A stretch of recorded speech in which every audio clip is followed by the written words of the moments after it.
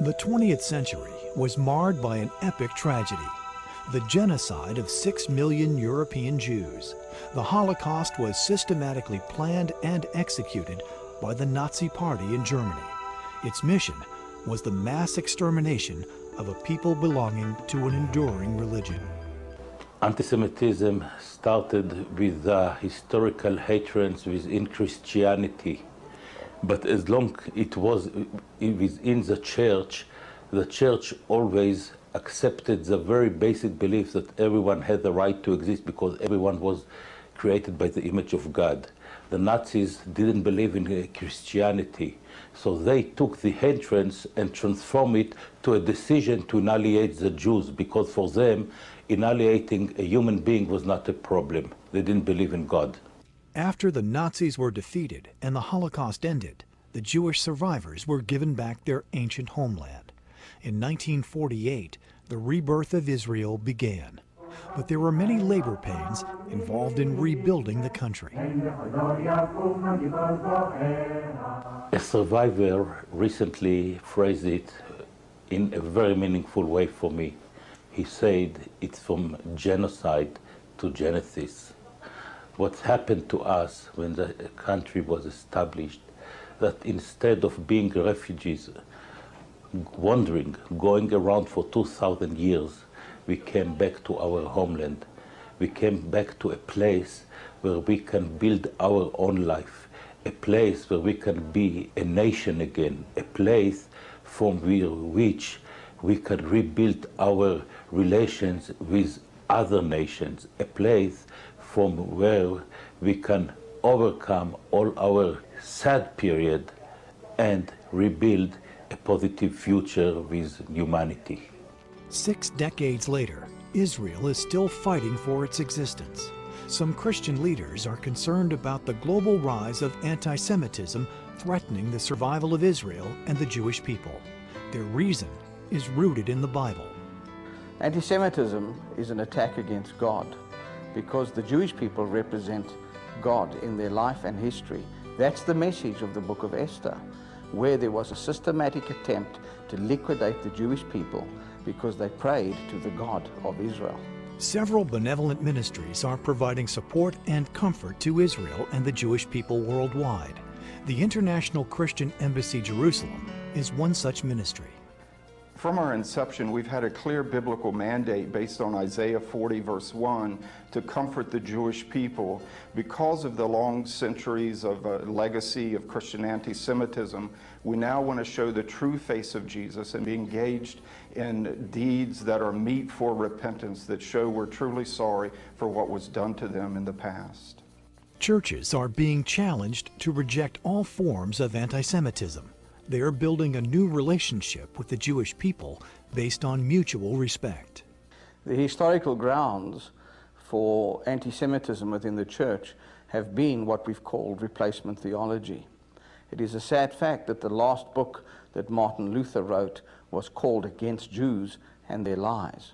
This particular book became fodder for the Nazi regime in their attempt to destroy the Jewish people. To help remedy the effects of anti-Semitism, many Christians worldwide are volunteering too. They are bringing blessings by providing practical social service assistance to the needy in Israel. Our aid program helps meet social needs through a variety of projects and programs across Israel. The need in Israel is very great, with 20% of the population on or below the poverty line. We do this in coordination with social agencies and organizations who work in every sector of the society. And these programs uh, cover a range of things, including soup kitchens, food distribution projects, educational projects, heaters and blankets in the wintertime, and a multitude of other uh, needs that are coming across our desk every day. It's a pleasure and an honor to be able to assist, and we're glad to be here to do that. To reciprocate, leading Israeli institutions are partnering with Christian organizations in building bridges for a better tomorrow. One of the miracles in our generation is the sea change which has taken place, a change in which the Christian Jewish community, the mother child religions, have come together after close to 2,000 years of enmity. And the fact is that we have an institute for Jewish Christian understanding and cooperation, which has regular dialogues, regular discussions on the highest of theological levels. We must have a united voice of religion for peace.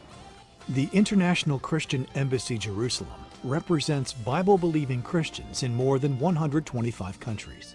We are at the forefront of a growing Christian movement that provides comfort, support, and solidarity with Israel and the Jewish people.